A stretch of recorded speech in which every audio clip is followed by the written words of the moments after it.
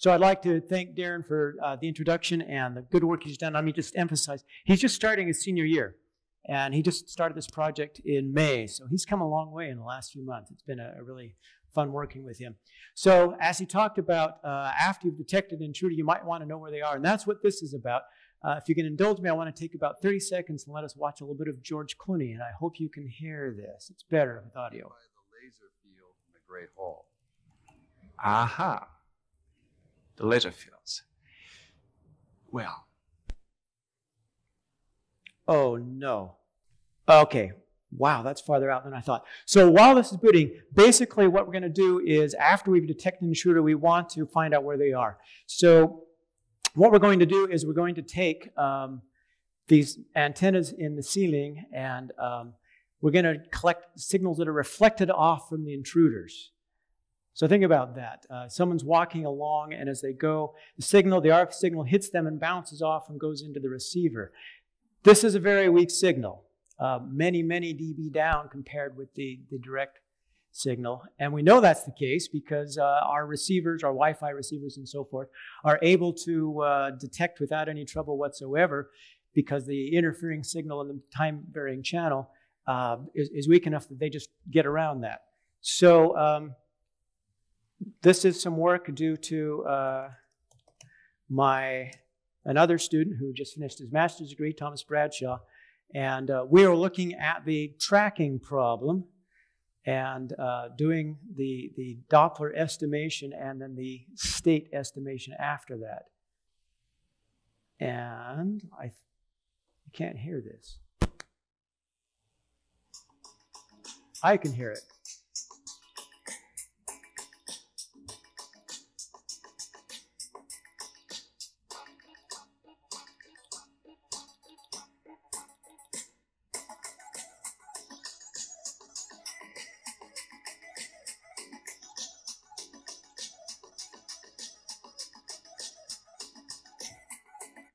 Okay, that of course comes from Oceans 12, and uh, there's a point there, which is that uh, if you're using other kinds of technology to secure an area, such as laser beams, you're going to have trouble.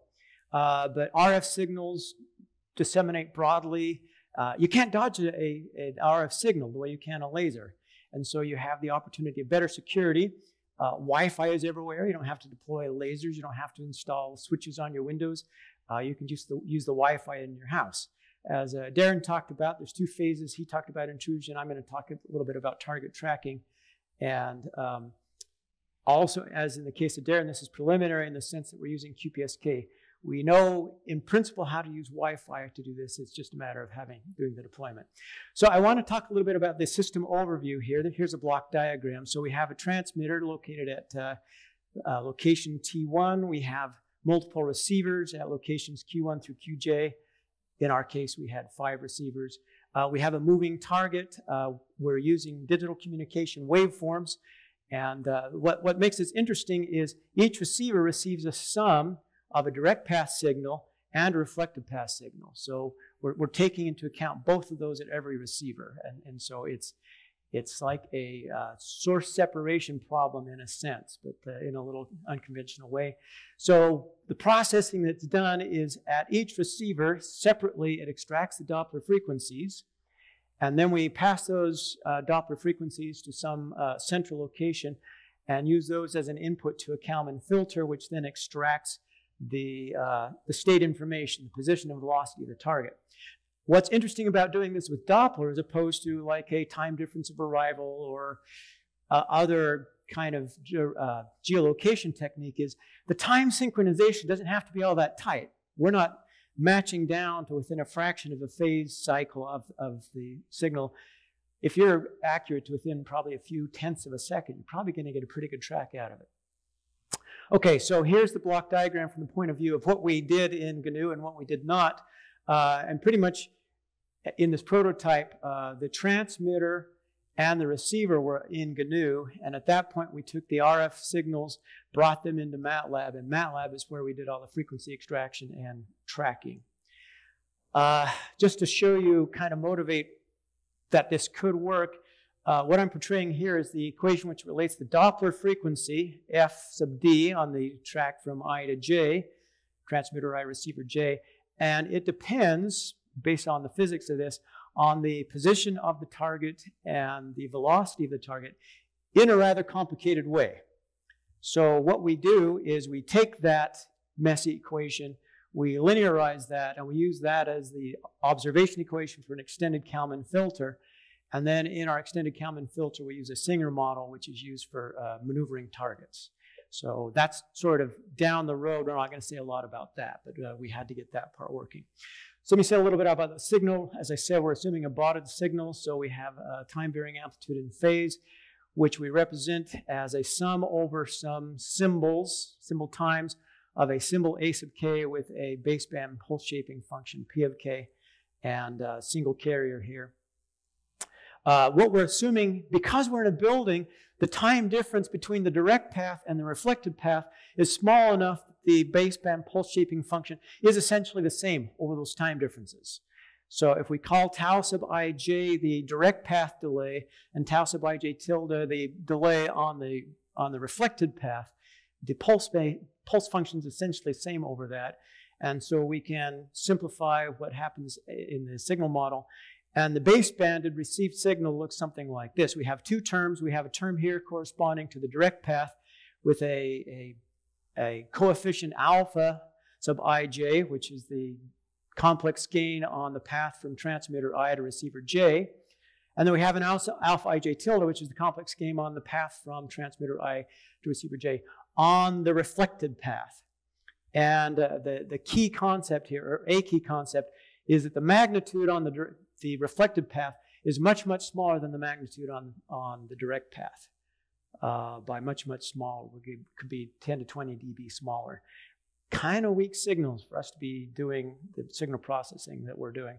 Uh, another term that I took into account explicitly is we wanted to use uh, a different transmitter than receiver everything would have been so much easier if I could have used the same transmit clock and receive clock. But looking down to where we're using somebody else's transmitter and our receiver to do all this, uh, we wanted to account for that difference. And in fact, with the GNU hardware, or the, the Ettus hardware that we were using, especially the older Ettus hardware we were using, this carrier frequency offset was significant.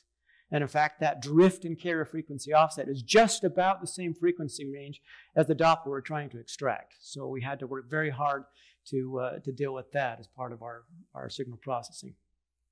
So there are two uh, receiver models that we use. Uh, in the first place, we took the received data and we ran it into a PLL, where we wanted the PLL to track out the carrier frequency offset.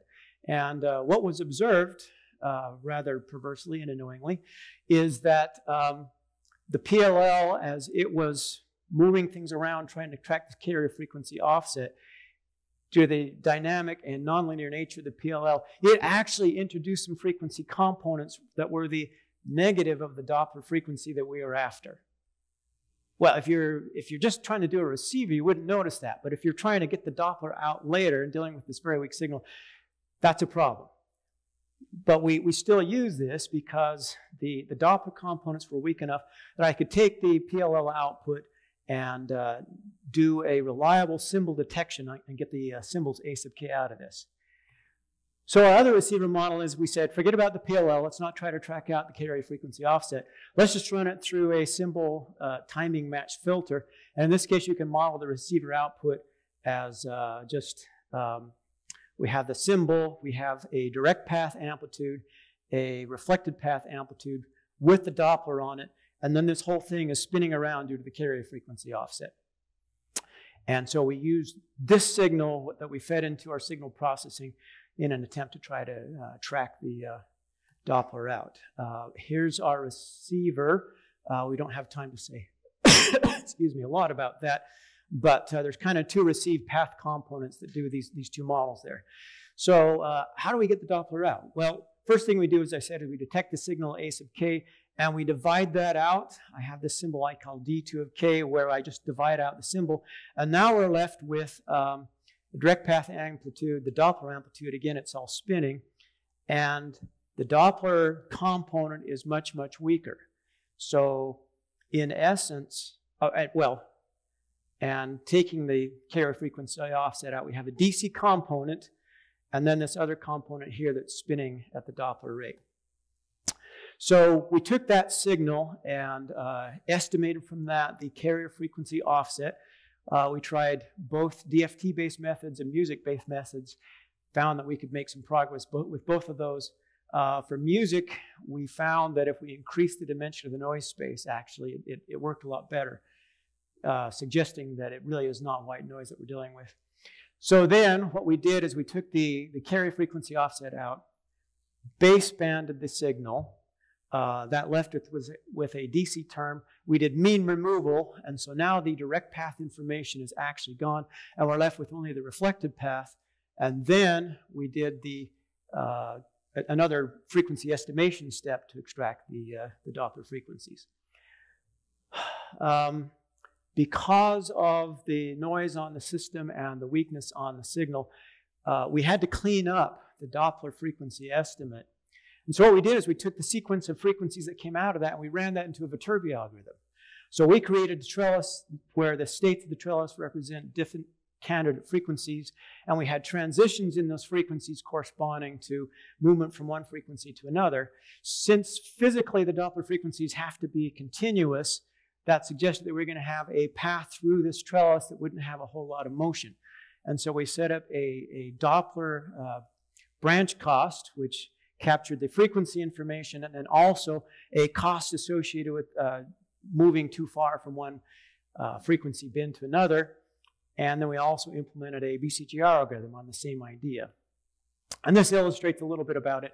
This was actually um, a situation where the transmit antenna was right there close. We had a good strong signal, uh, not in the ceiling, so it was an early test. But even on this, you can see on the left that on, on our Doppler trajectory, there's some outlying points there.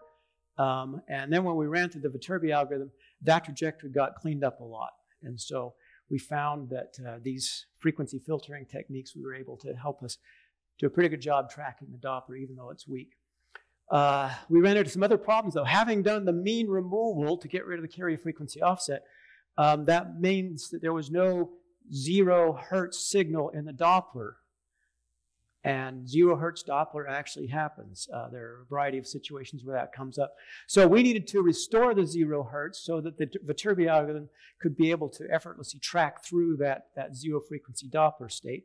So to handle that, we created uh, this idea of what's called a balance factor, where we look at the spectral energy on the positive frequencies and the spectral energy on the negative frequencies, and then take a difference and normalize that. And interestingly enough, the, the balance factor, which sort of represents everything except the one frequency you're looking at, tracks pretty well what the actual spectrum is. So in this plot right here, based on real data, um, there is a, this is a music spectrum underneath, and then the red dots are the balance factor where we scaled that in such a way that it would, it would line up. And you can see that it is actually tracking the same kind of information as the spectrum itself does. So on the basis of that, we could uh, artificially regenerate the zero, uh, zero hertz frequencies. If the balance factor is near zero, we said, okay, the signal must have been DC or near DC, zero Doppler. And, and so we recreated a spectrum by creating a little peak at the origin that we linearly combine with the other spectral points and use that to get in just a branch metric, and that is finally then what we used to do our Doppler that we then fed into the extended Kalman filter. Whew. A lot of work to get that working. Okay, you've already seen the map of the building where we tested this out. Um, here's an example of just the basic Doppler motion. Uh, someone was walking back and forth in the hall of the building, and the Doppler was moving it corresponding to it. You can see um, the, the music spectrum and then the, the peaks of the maximum that we got out of that after the Viterbi tracking. And finally, um, we have an example of the ex extracted trajectory. So this is um, the blue line here shows a trajectory. Someone was walking back and forth in the hall, and uh, this is the trajectory that we extracted from their motion in the hall. So uh, we were able to validate that this thing did the job and works. Um, we've got a lot to do on this. Uh, I have some ideas on how to improve the Doppler extraction from these weak signals with a, a variation on the Viterbi algorithm. Uh, the thing we're really interested in doing is extending this to uh, using OFDM transmitted signals to uh, track people using the existing transmitter in the in the building. Okay, that's it. Any questions? All right. Thank you, Dr. Moon. I see some hands coming up here. Yeah. A question right here in the back. Hi there. Um, and your last slide where you had the extraction of someone going back and forth This in the one. hall. Yeah. Did you try to make this person walk straight or were they swerving? Like, ah, is that a struggle? Oh, yeah. In fact, I, I needed to bring this up because I've, I've, uh, that was my second bullet point there. They were walking straight. So what we found actually, the antennas were spread out. There's more distance in the east-west direction, left to right, and less observability in the north-south direction. So they actually were walking straight. So what we see is, yeah, we have, we don't have perfect Doppler extraction here, and so uh, it is portraying a wandering path here, even though they were they were not drunk when we did this test. All right. I saw another. Here we go. Another question over here. So this is a former student, and he used to work in this building. He knows this building. Yeah. Um, how do you anticipate this uh, extending to further targets? Do you think the, the same kind of model would work, or there be too much uh, going on? You mean multiple targets? Multiple targets. Yeah, that actually needs to be a bullet point on the last slide. Um, so if you have multiple targets, then you're going to have multiple pieces of Doppler. And so now it becomes a matter of multiple frequency extraction. It's, it's, we expect it to be complicated, actually, because these signals are so very weak. So if we can get the multiple target extractions and we can do the data association problem, which says this Doppler is associated with this guy and this one's associated with that one, we're going to be great. But you can see that there's some questions there. All right. Do we have any other questions in the room? All right. Thank you, Dr. Moon.